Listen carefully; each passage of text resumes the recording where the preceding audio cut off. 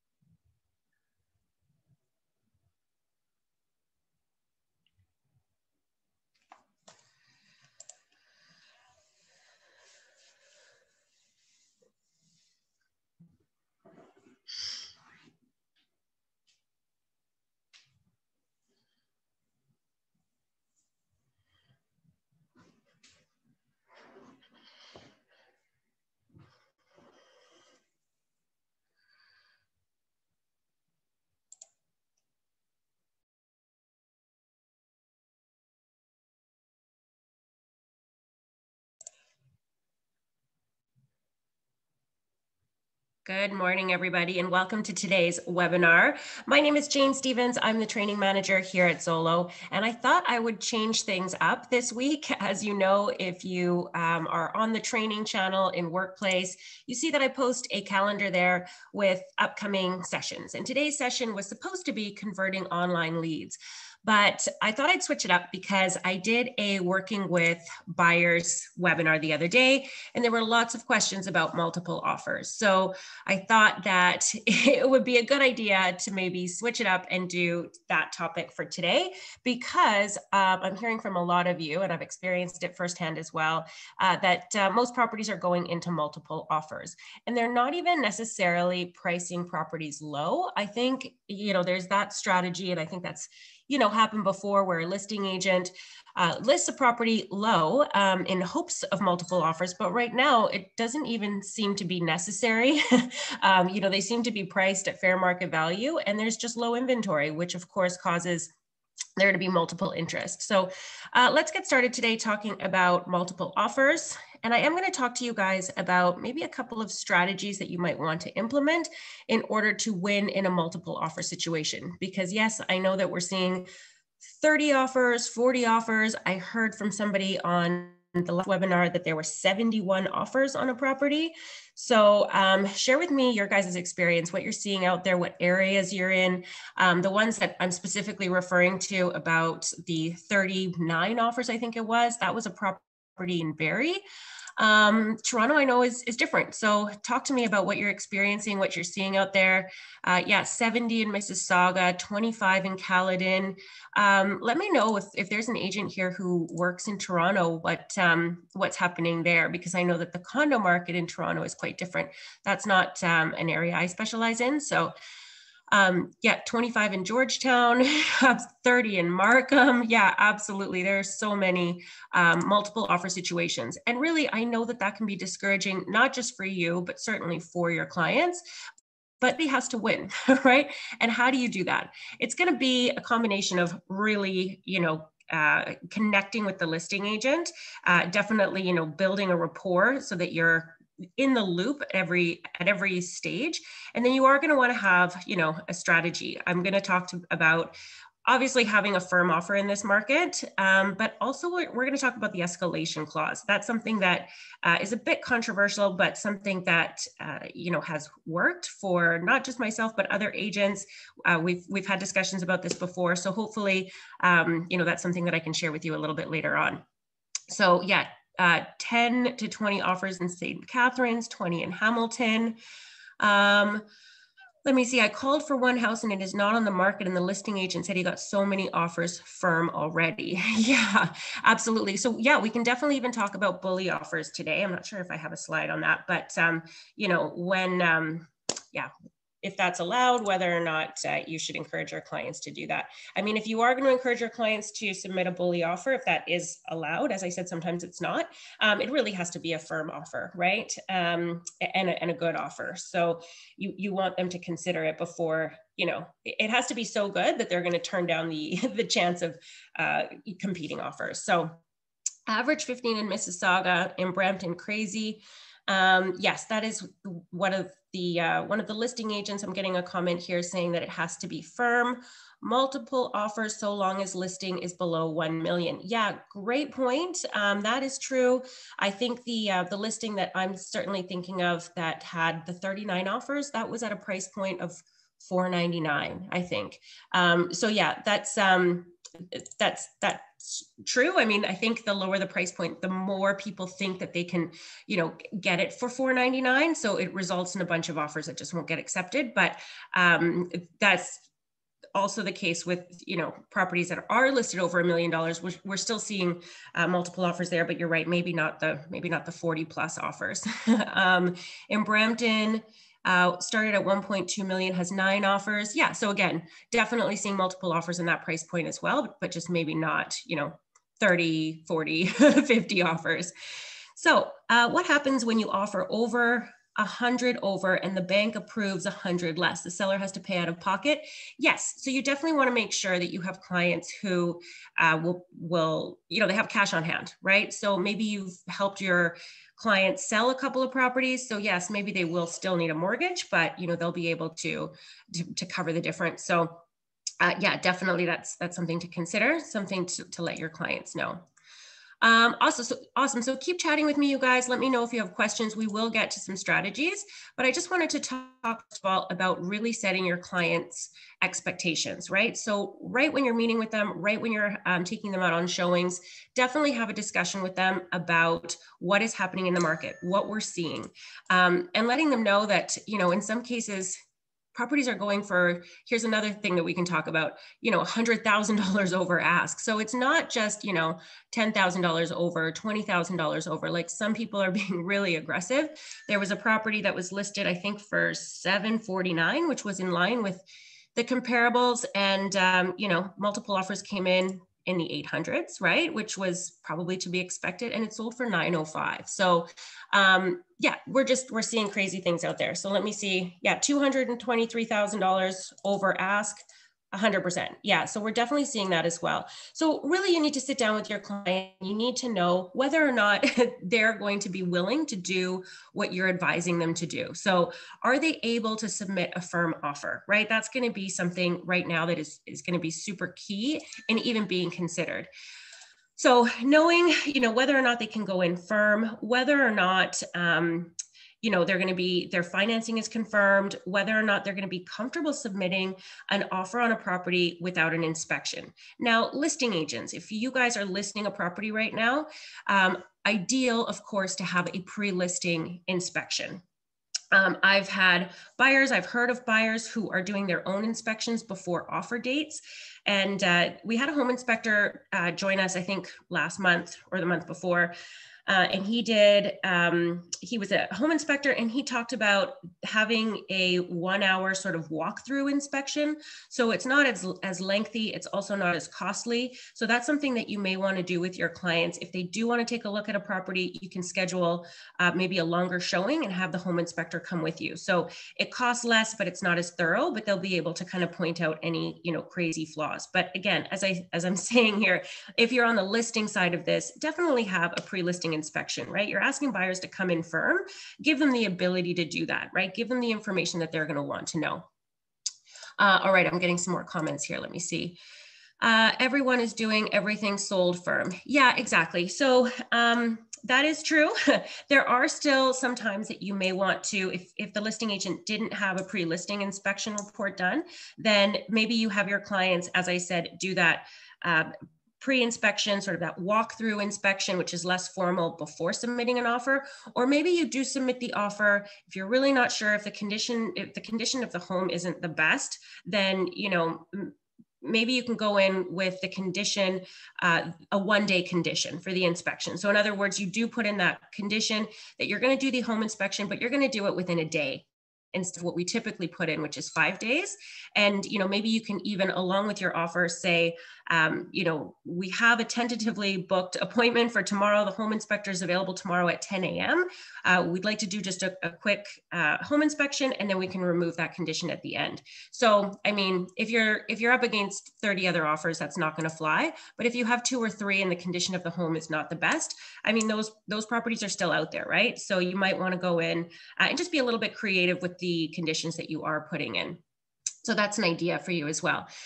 Another thing I wanted to say, I had a conversation with a lead uh, just the other day who was very clear um, that they were not going to they were not going to get emotional emotional about buying a property. If they liked it, they were going to put in a fair market um, offer, but they weren't going to get emotional. They didn't want to be competing. They didn't want to you know have to be put in a position of offering more. So a couple of things with a client like that. Now you know their what they're expecting, what their uh, limitations are going to be, I guess I should say.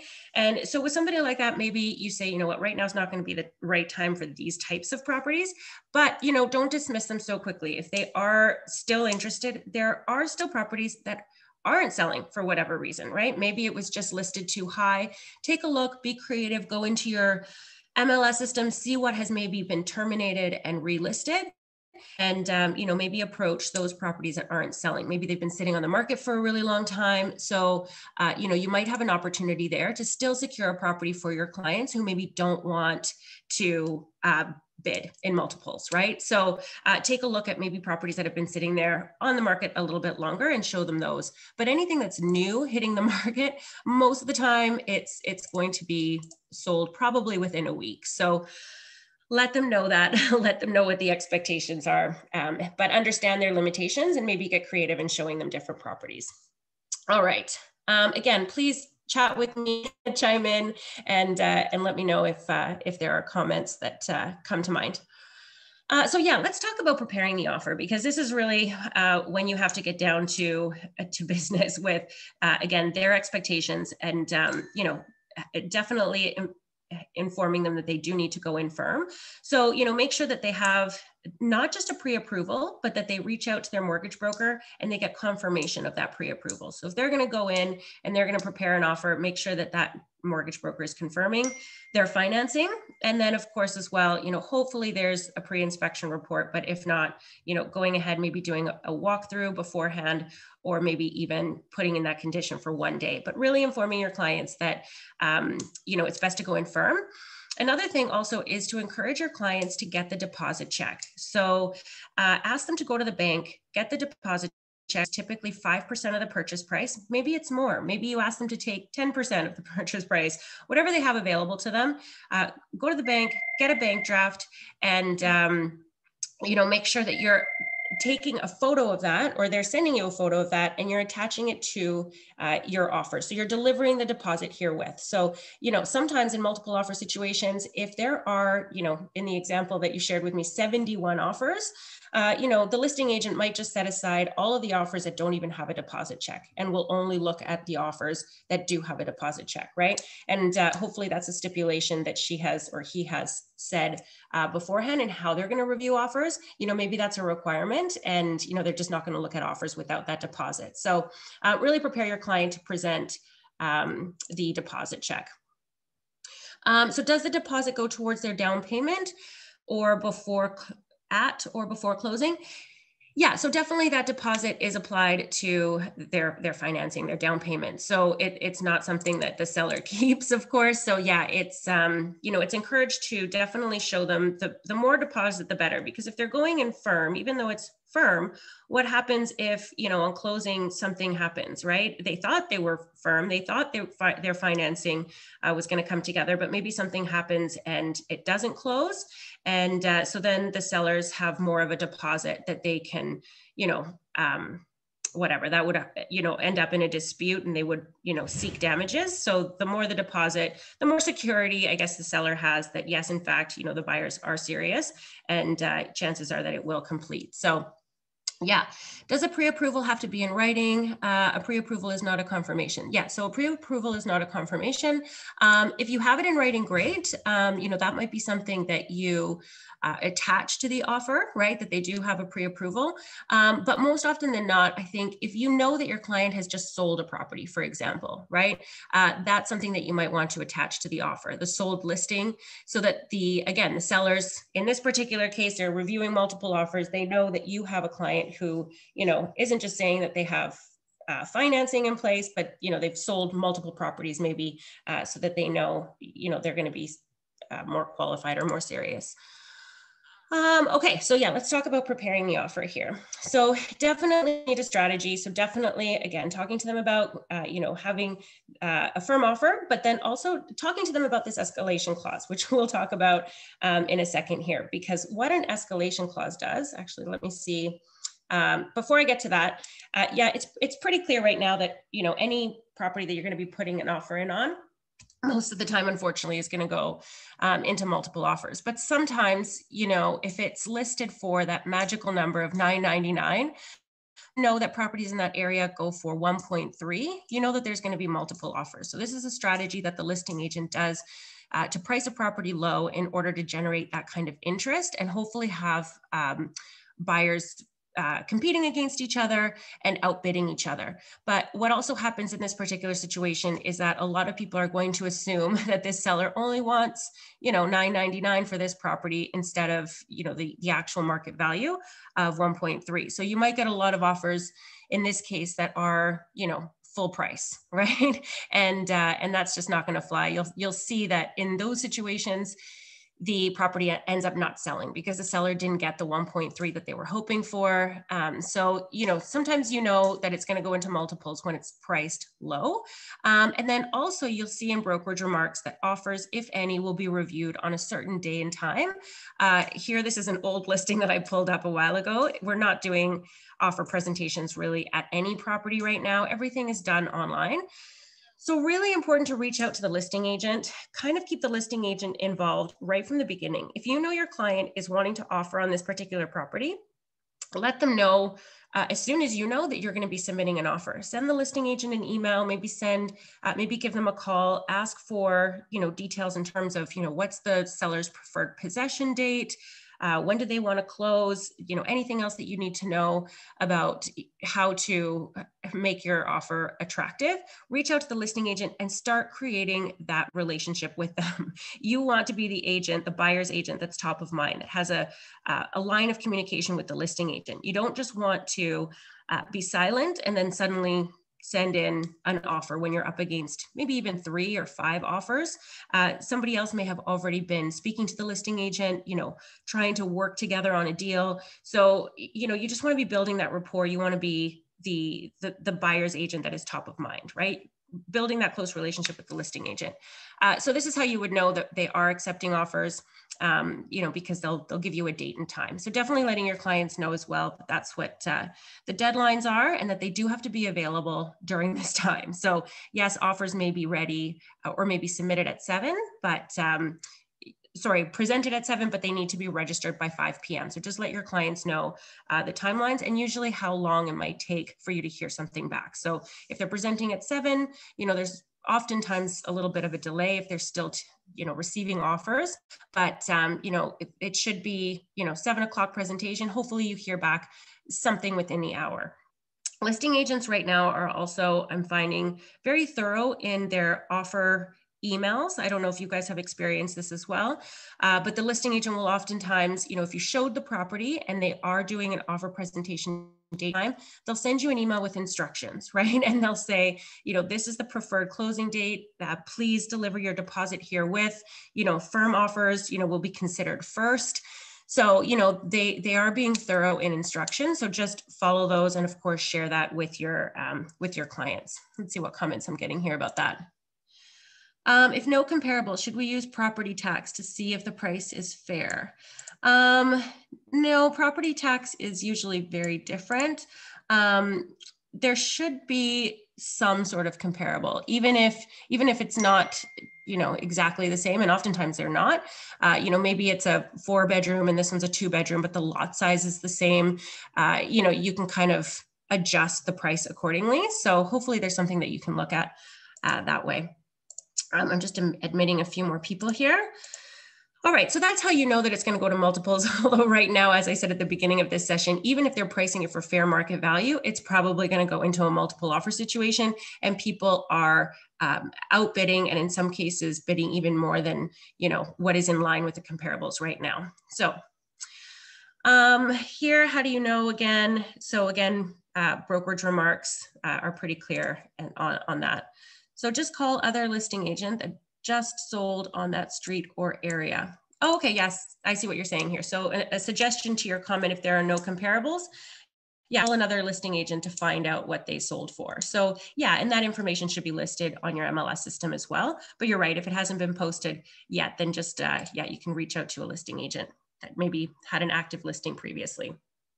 Okay, so in addition to the brokerage remarks that offers are to be presented on a certain day and time, uh, here you can see that in this particular case, the seller re reserves the right to entertain a preemptive offer, which means that if somebody submits a bully offer, which may be you, you may want to advise your clients to do that, then um, you know that's allowed. Oftentimes, though, you'll see that the sellers will not be looking at preemptive offers, right? Because they want the opportunity to, to take a look at what people are going to submit. And you know, right now that we're expecting 10 or 20 offers on a property, it's in the seller's best interest probably to wait to see what those are.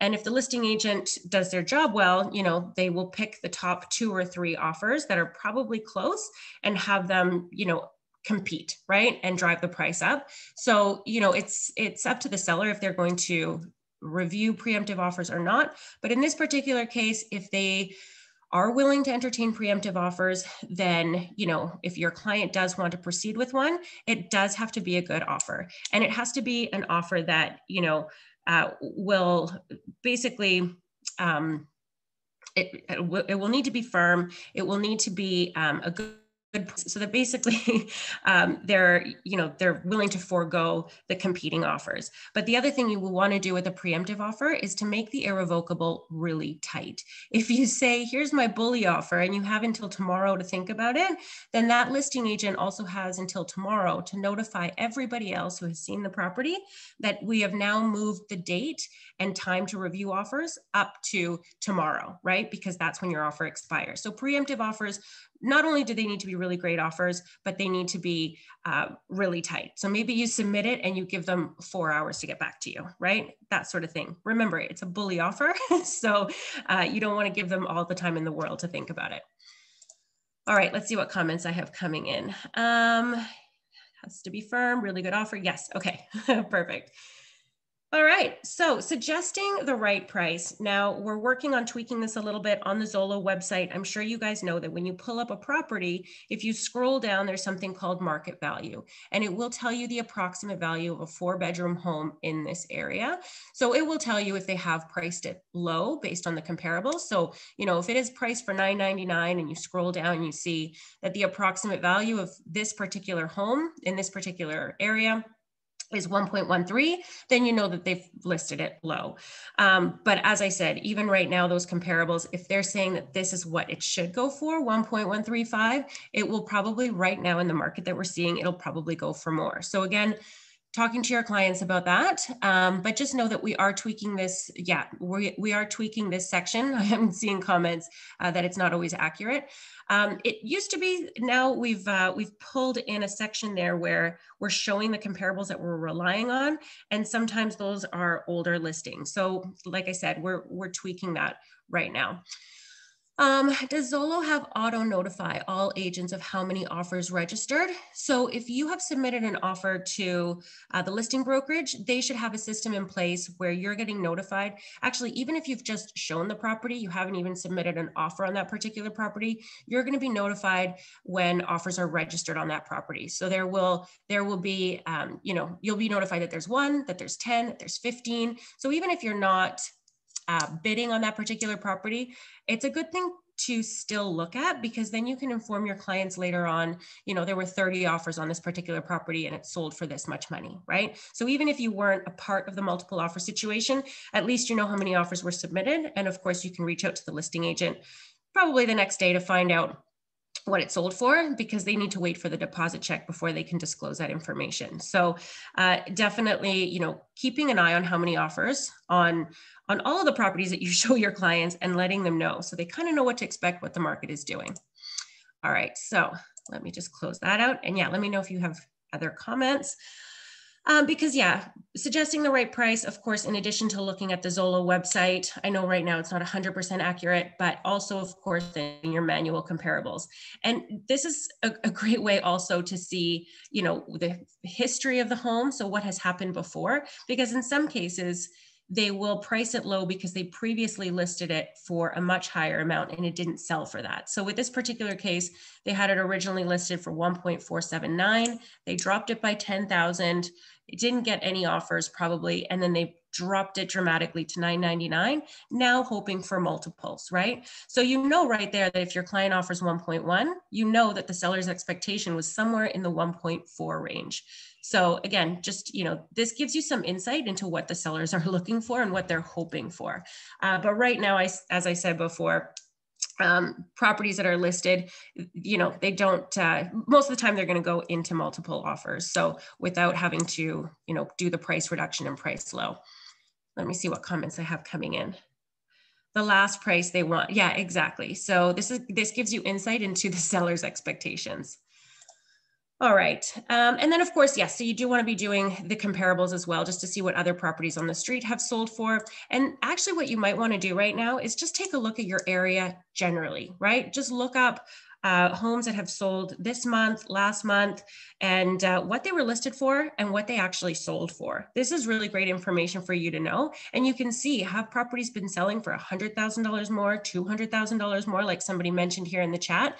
So, you know, definitely taking a look at the activity that's happening. So even if it's a property you didn't show, it's a property you didn't even write an offer on, uh, you can give, you can, you can take a look at what's been happening simply by searching sold properties and you can see what they were listed for and what they sold for. It gives you really good insight into, you know, the difference and what you might be advising your client on, right? So again, you're not advising your client, yeah, let's offer $5,000 more or 10,000 more when you can see that the history in the last few months you know, the properties that have been listed for this particular price point, let's say 749, have mostly sold in the eights, right?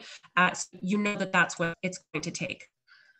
All right, so let's uh, carry on here. So preparing the offer, of course, going to come down to that purchase price. So I just mentioned the purchase price you can determine by looking at the Zolo app, Zolo website, yes, even if it's, you know, just a benchmark, probably looking at your MLS uh, system, taking a look at recently sold comparables, but also look at the area generally. What are um, you know other properties selling for when they've been priced in this price point? And how do those properties compare to the one you're looking at?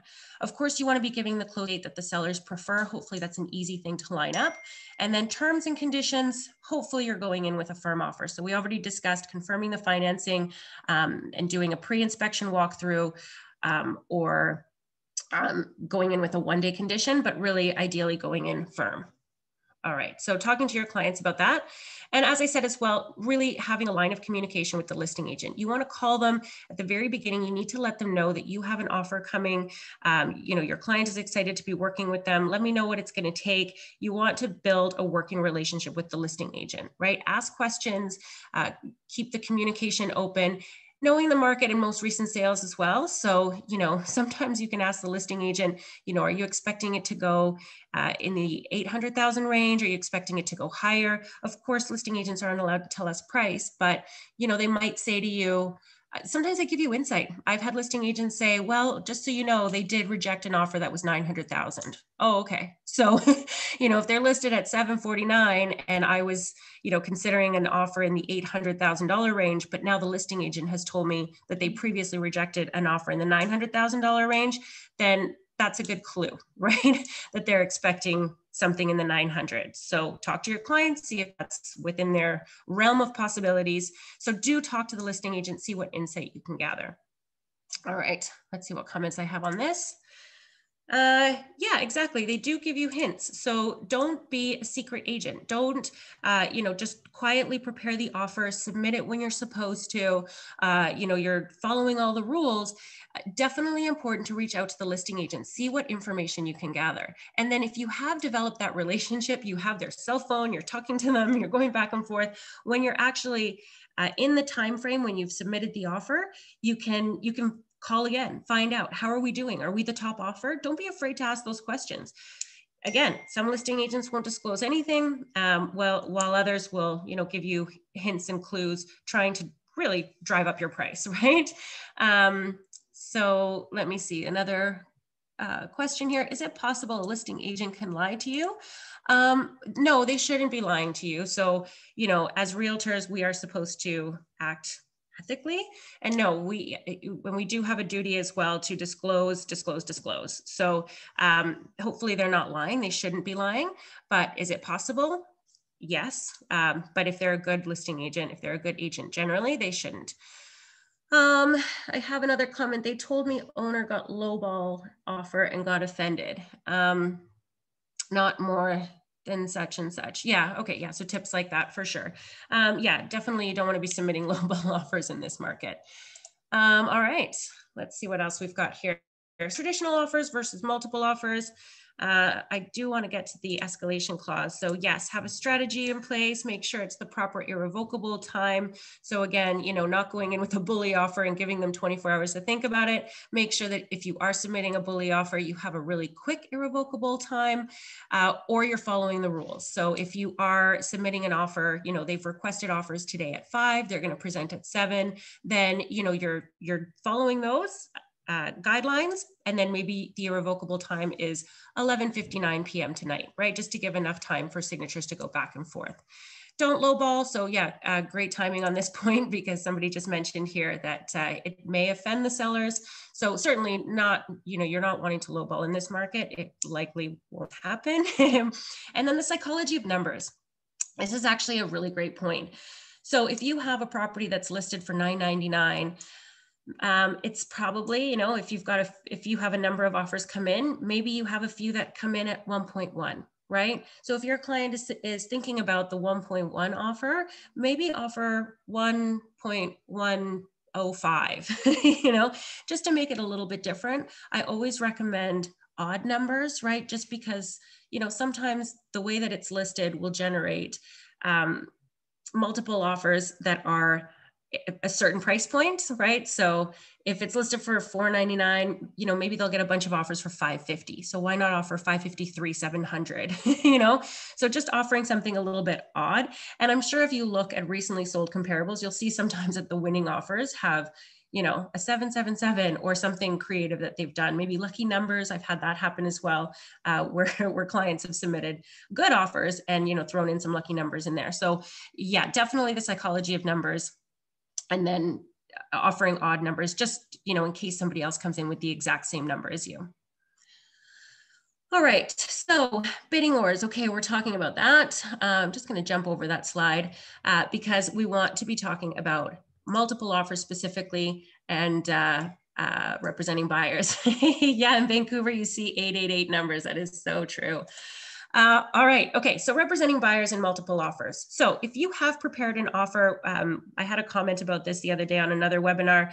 Uh, you can cross out the clauses. So your schedule A has the financing condition, it has the inspection condition. You can cross those out and have your client initial. If you do remove those conditions entirely, so they're not even in the offer, then make sure you're doing a form 127 because this is the buyer's acknowledgement that uh, you know they hereby acknowledge with respect to conditions that the buyer will not be including a condition in the buyer's offer for financing uh, for selling their property for you know obtaining a home inspection report. So just have them initial whatever it is that they're you know not including in the offer uh, this is you know mostly to to cover you guys so that if the buyer says later on oh i didn't really realize i didn't really understand it was a firm offer i thought i would still have an opportunity to home to do a home inspection hopefully you don't have a client who would say that uh, but this just covers you so form 127 if you are removing those conditions from the offer so it's the buyer acknowledgement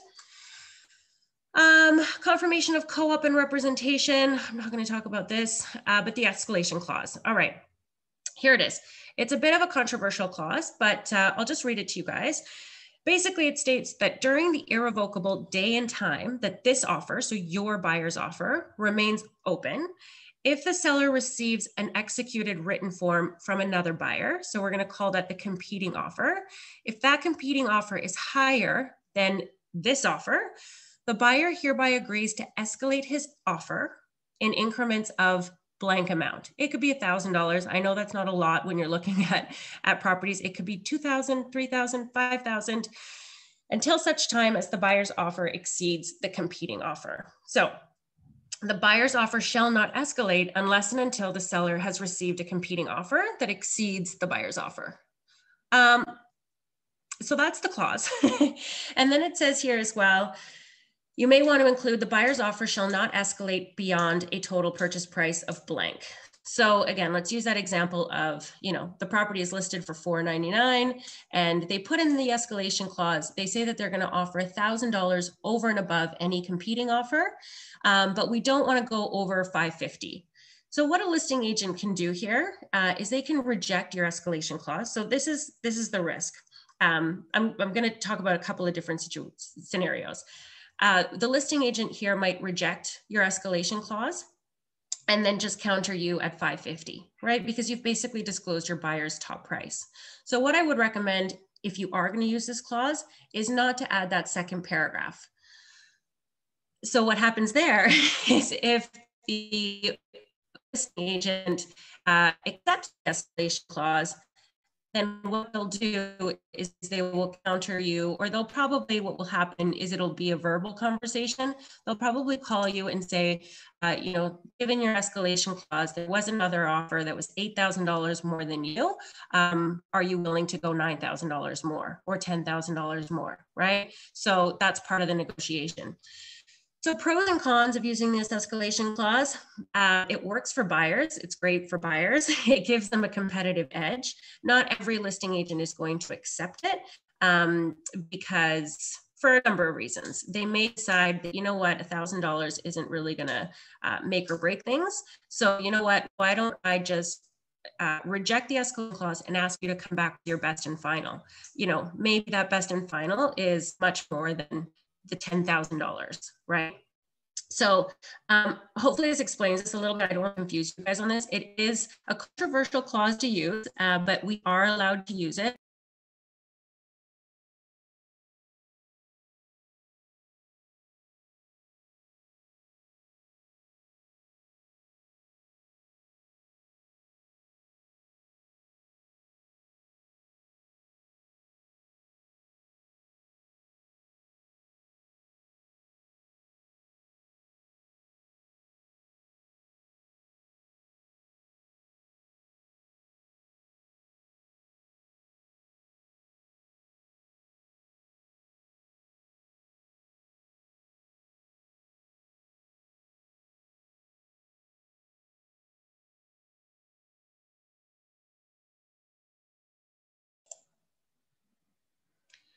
Hi, sorry, I got disconnected there. Um, can you guys hear me? yes, we can. Okay, awesome. Yep. Sorry about that. I don't know what happened. I was talking to myself was, for a minute. I was checking my internet. I thought I got disconnected. Yeah, no, it was me. I got kicked out. Uh, so let me just find you guys again. Are you still with me? All right, yes, screen share. Okay, Awesome. Okay, one second here. Okay, just reconnecting. Sorry, guys, I don't know what happened, but I'm back. And hopefully you can hear me. Awesome. Yes, yes, yes, yes, yes. Great. Okay. So, um, any questions about escalation clause?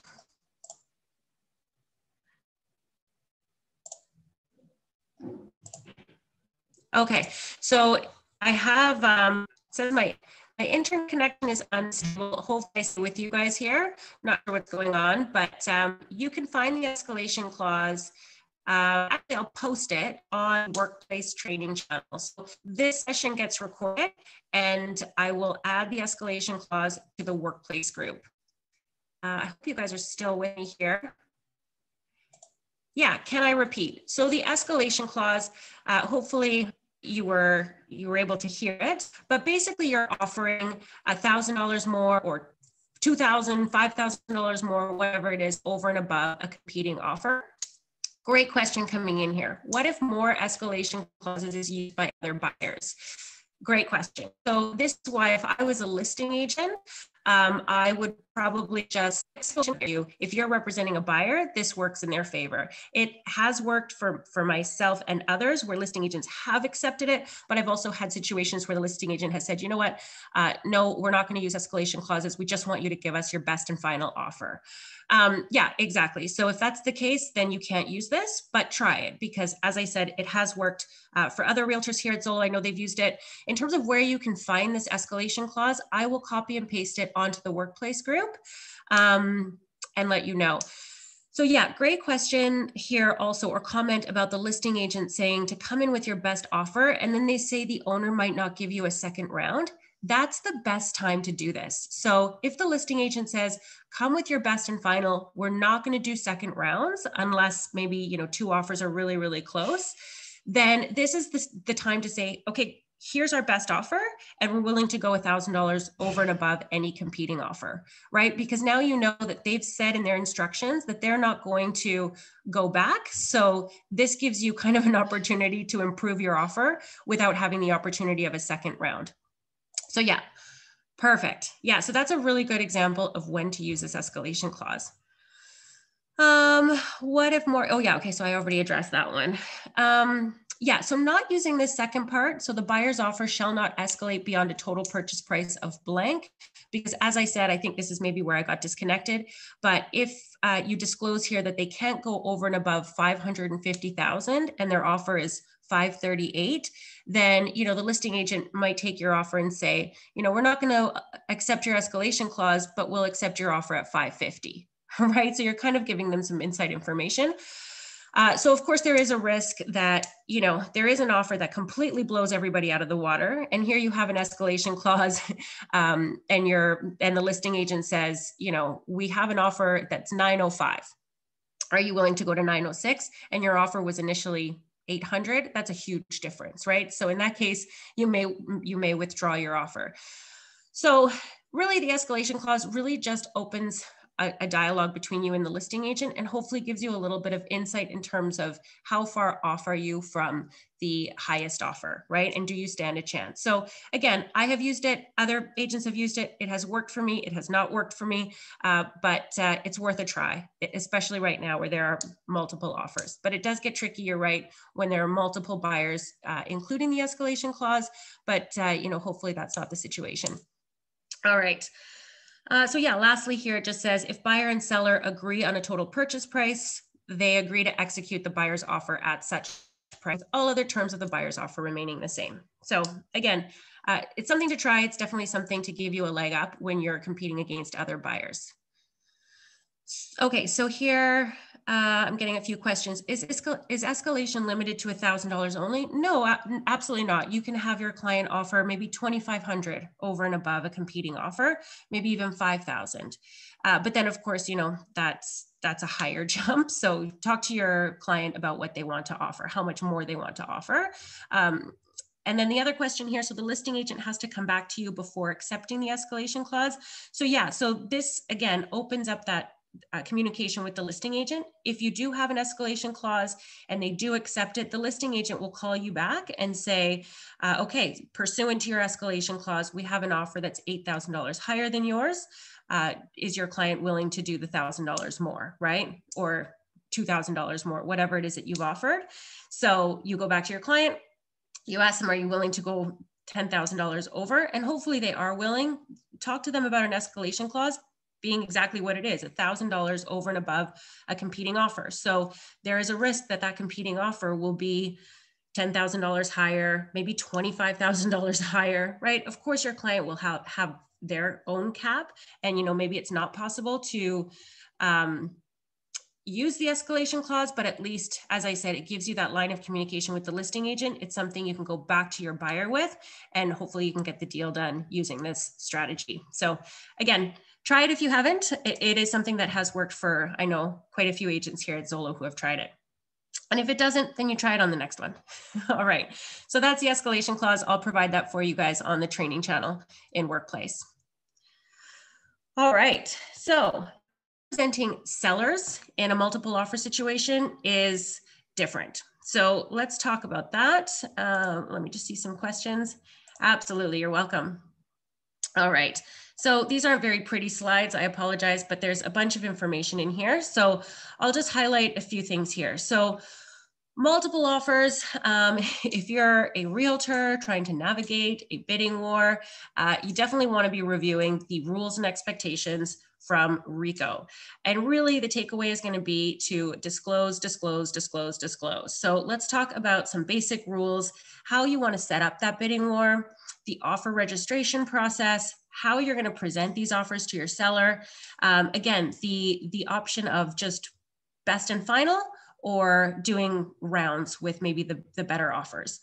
So communication best practices, dealing with preemptive offers. Um, we won't talk about multiple representation, uh, but commission deductions. And that's maybe something that you see uh, if you're a buyer's agent, if you're getting from the listing agent with instructions on what to do for their offer presentation, uh, keep those on file for you because there will be a time when you're the listing agent and you have uh, you have to set up a multiple offer presentation.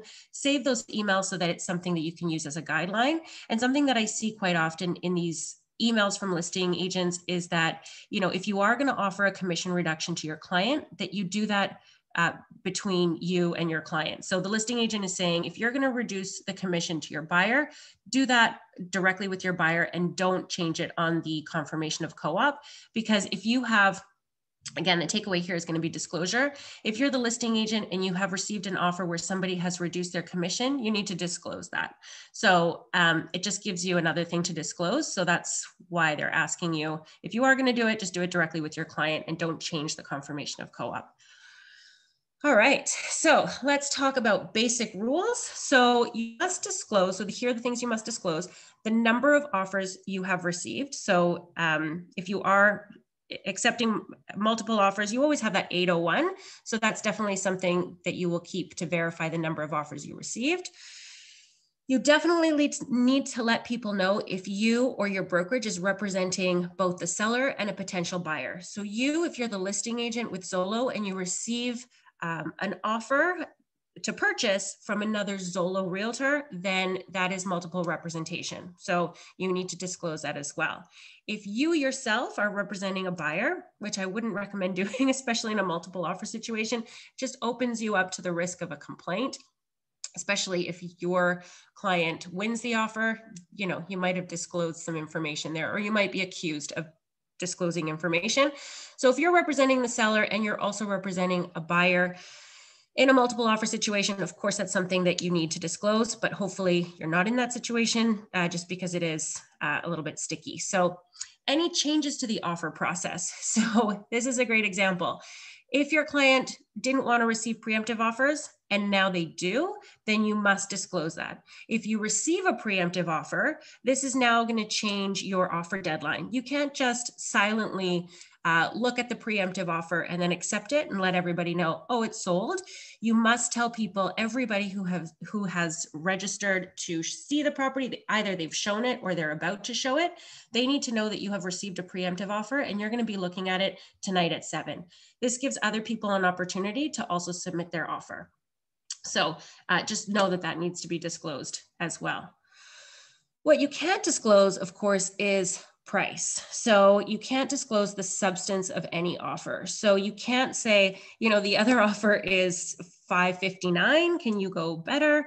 Um, but there are hints, as I was talking about earlier, where the listing agent will say, you know, you're close. You know, can you improve your offer? And then you might say, do we need to improve it by 2000 5000 is that going to is that going to get us there right so you can have those conversations and you know see see what they disclose so they can't disclose price but they might be able to provide you with um, hints as we've said before All right, so setting a bidding war. So if your pricing strategy is to try to generate multiple offers, you'll generally set an offer date in the future. So let's say maybe you uh, post the, the listing on MLS on a Monday or Tuesday. So you allow for showings throughout the entire week, of course, during the weekend, and then maybe you accept offers on Monday. So um, that's usually how you will set it up.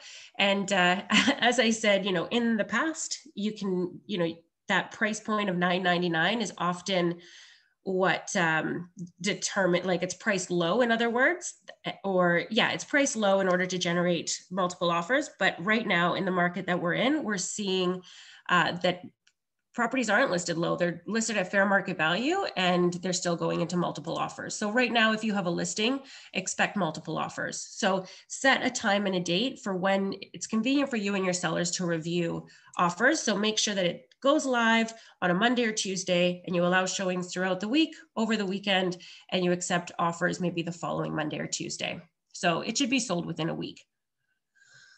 All right, offer registration. So buyers need to know how many offers exist. So when they submit an offer to you, hopefully they're also calling uh, Zolo to register the offer, but if not, you need to update schedule lock. So if you've received an offer, um, you'll want to register it as well. So even just call the office and say I've received an offer on this listing and they'll be able to register it for you.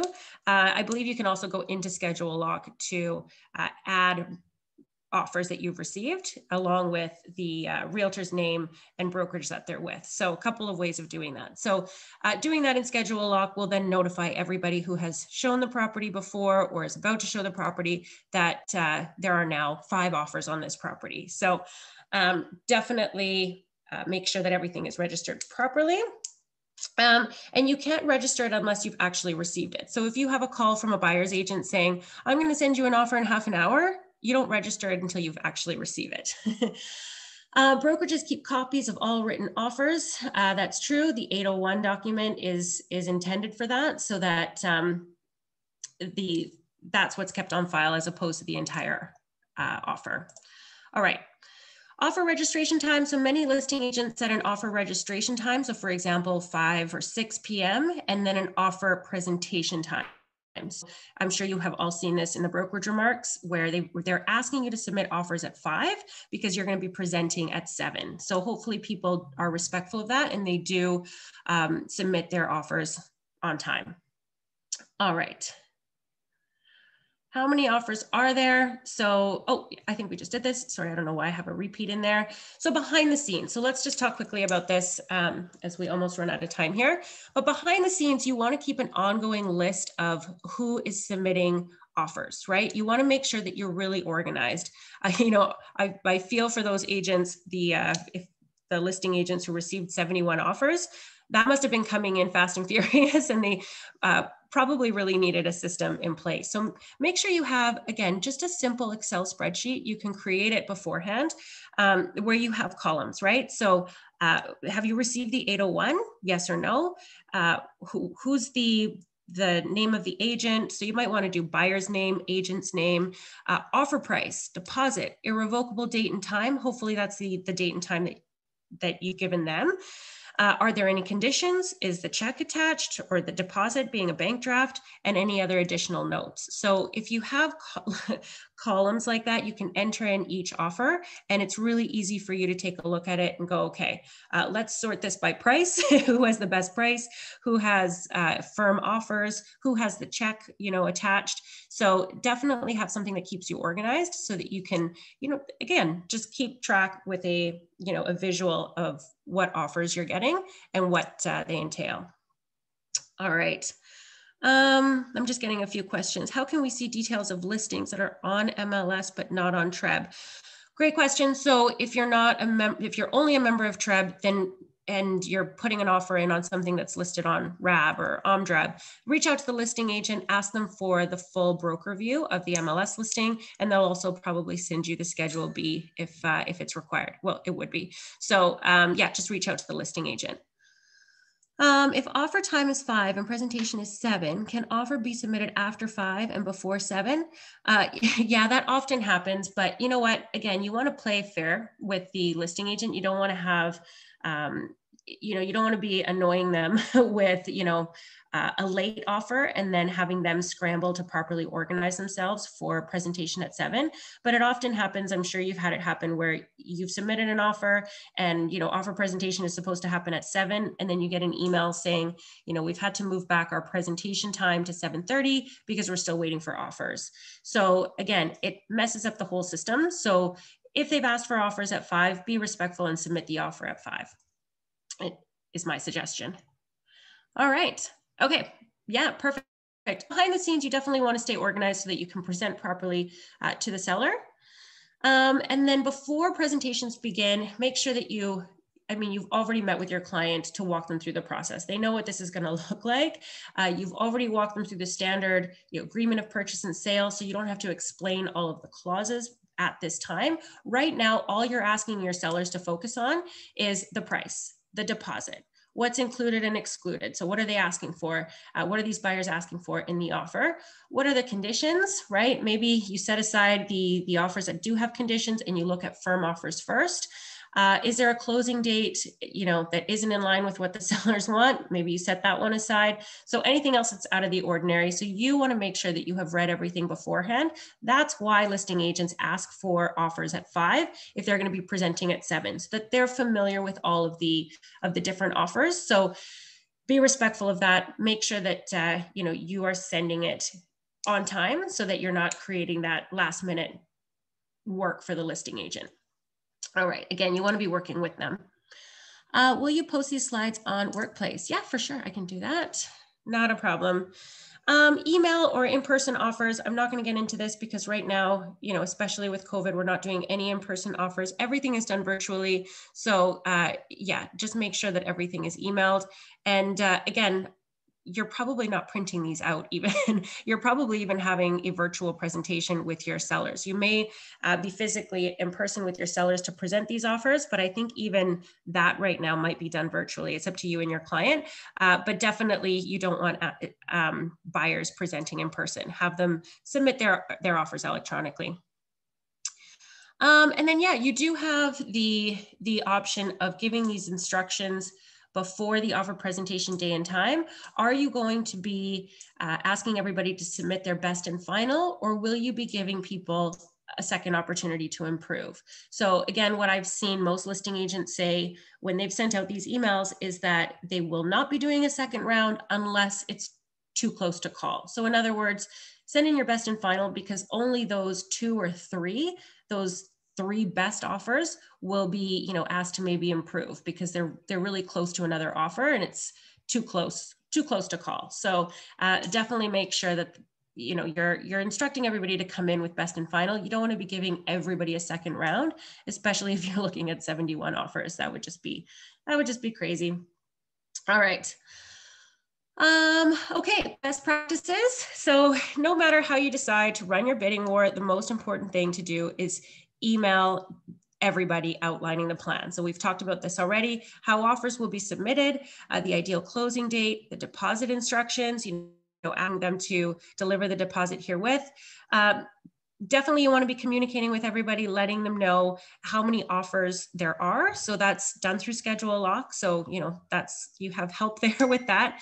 And if you have special requests or disclosures that you need to make you know definitely sharing that. So if you did have a pre-listing inspection hopefully that was something that uh, you shared with everybody beforehand um, and then, yeah, seller's intentions. We will be looking at firm offers first. We'll be giving priority to offers with uh, the deposit attached. So again, just explaining how you're going to be looking at this and which ones you're going to prioritize.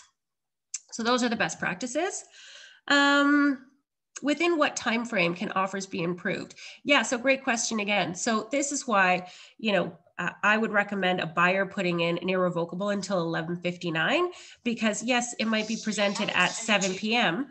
Um, but then you know if they have 30 offers to go through, then that's going to take them some time. And then if they do get back to three people and then they're improving, that's going to take probably another hour. So you do want to give enough time um, in order for for people to improve their offer. So you should expect to hear from the listing agent within an hour of them presenting. Again, depending on how many offers they received and and uh, you'll probably hear from them faster than that. This is always a good indication. If you hear from the listing agent pretty quickly, that probably means you're one of the better offers. So um, that's a good sign if you get a call right away. Uh, but yeah, in terms of within what time frame offers can be improved, you should hear from the listing agent within at least the hour. And if not, reach out to the listing agent, find out where you're at, find out what you need to do in order to be considered. If you're not hearing back from the listing agent, you're probably not being considered. So call, find out why. All right. Um, all right, all right. So we have, if we list the property slightly higher than market value and after 10 days, no offer, when would be the good time to reduce price? Yeah, so great question. If you listed the property high, um, and you haven't received an offer, then uh, I mean, at that point, if you've been on the market longer than two weeks without an offer, definitely that's the time to reduce the price. You don't want it to be sitting there uh, for any longer than that. I would do a cancel relist uh, at around the two week time frame um yeah because as i said so that's a great point though too for for those of you who are working with buyers who don't want to be in multiple offer situations take a look at the properties that are that are priced slightly higher right? They may be considering a price reduction. Don't be afraid to go in and offer on those properties slightly lower than uh, you know what is being what it's being listed for. So there's still opportunities out there if you have buyers who do not want to bid in a multiple offer situation um, all right. Okay, last but not least, disclosing the sold price. So as I said before, the takeaway is to disclose everything except the sold price until you actually have a firm offer and the deposit check in hand. The photo of the check is not enough. You actually have to go and pick it up if you're the listing agent or have the buyer deliver it uh, to, to the brokerage. So you need to make sure that that check is in hand, either in your hand or at the brokerage before you can disclose sold price to everybody who submitted an offer. Uh, okay, let me see. Last but not least, uh, I keep saying that I feel like I have more slides here than I thought I did, but uh, I think I already went over this. So I'm just going to leave it there with uh, the sold price. And let me get to your questions. So can we do a price uh, reduction? Yeah, and not relist? You can absolutely. Um, it's it's better to do. Well, it's up to you. It's it's up to each listing agent, but it's it's nice to do a cancel relist because then it comes up as a new listing. So that might be the strategy there to recommend. Um, if I am the listing agent, will Zolo auto notify other uh, 40 plus offers that the seller decided to refuse their offers? Uh, no, so this this goes back to that Excel spreadsheet and making sure that you have a list of you know all of the agents who have submitted offers, definitely their email addresses. Uh, you know, just take the time as you're receiving these offers to plug in that information, what their offer price is, what their conditions are, because yeah, you'll want to you'll want to communicate with everybody. Um, about what what the seller has decided to do for sure. So I'm just I'm second guessing myself. I'm not sure if you can log into schedule lock and send out an email to everybody through there.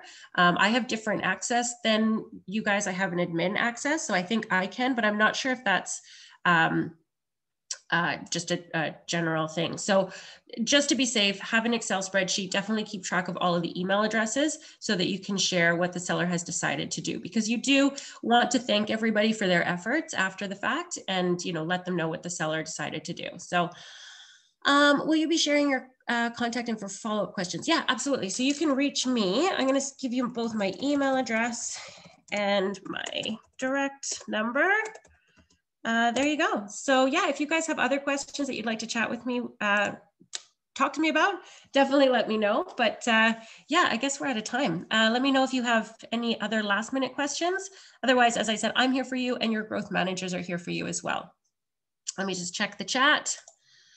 Uh, yeah, my pleasure. Thank you so much, guys, and uh, good luck out there. I know it's crazy, but it is it is doable. So hopefully there are a couple of tips and tricks there for you. Uh, yeah, you're welcome. You're welcome. It's crazy. it's so crazy. All right. Thanks, guys. Have a great day. Stay safe. Bye.